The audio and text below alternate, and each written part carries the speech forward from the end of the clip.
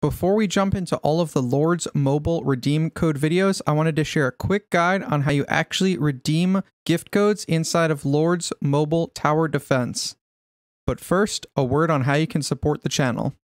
If you appreciate the fact that we keep our videos pretty short here and that there's an actual voiceover instead of someone typing fake or invalid codes for 8 minutes, why not consider joining the Patreon or clicking on the BlueStacks affiliate link down in the description BlueStacks is a free installation for PC or Mac, and it allow you to play the game on Android or global servers, and it gives the channel a bit of support, so please considering installing that or becoming a patron member today.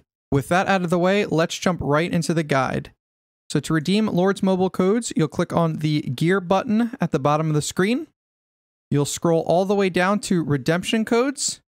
You'll click on that and wait for the page to load.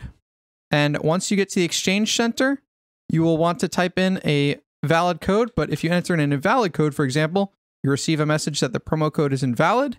And if you type in an expired code, for example, let's enter in the code from back in March, Shan Chadra 5, C H A D R A 5. You'll see you'll get a message that the code is expired.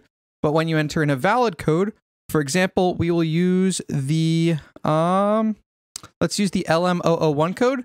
So that's LM001. As you see, you will get the rewards, which are 10 Incinerators, 1 Braveheart, 300 VIP points, 10 10 minute speedups, 10 10 minute research speedups, 150,000 food, stones, timber, ore, gold, and so on. And if you enter in the same code, you'll get a message that you already have claimed it, so you can only redeem these codes once. Hopefully that covers how you actually redeem Lords Mobile gift codes, but let me know in the comments if you still have any questions and stay tuned for my next video where I show off all of the currently active Lords Mobile codes. Thanks again to all of our supporters over on Patreon, and don't forget to click those like and subscribe buttons if you appreciate the content and want to keep receiving more legit game codes.